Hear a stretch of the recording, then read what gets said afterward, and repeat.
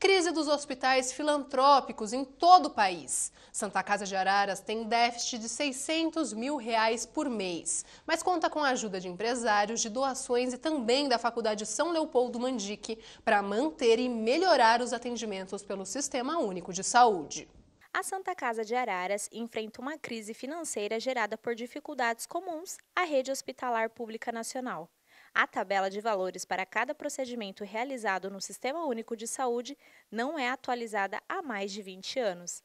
Dessa forma, o dinheiro repassado não paga as contas da entidade. Quando a gente fala de um parto cesárea, o, SUS ele paga uma ele paga o valor hoje do parto de 550 reais aproximado e o custo nosso para cada procedimento é de R$ 1.500. A Santa Casa ela realiza em média aí 590 internações mês e uma média de 7.500 atendimentos de pronto-socorro. Para manter os atendimentos, a Santa Casa conta com a ajuda de instituições e doações. Em 2018, nós tínhamos mensalmente um déficit aí na casa média de 1 milhão e 600 mês.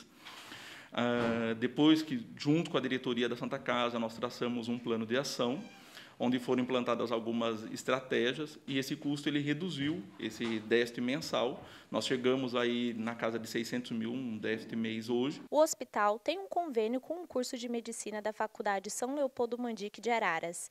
A instituição de ensino também realiza repasses financeiros. Então é um trabalho mútuo, onde nós fornecemos para eles é, médicos em algum momento, preceptores, pagamos esses preceptores e eles nos fornecem um campo de estágio, como nós temos em outras cidades também. A parceria com a Faculdade São Leopoldo Mandique é importante para a Santa Casa, é, tendo em vista que a Santa Casa ela tem é, como planejamento futuro a busca da certificação como hospital de ensino. De acordo com o levantamento da Confederação das Santas Casas e Hospitais Filantrópicos, nos últimos seis anos, 315 instituições tiveram que encerrar os serviços no país por não ter verba suficiente para continuar o funcionamento.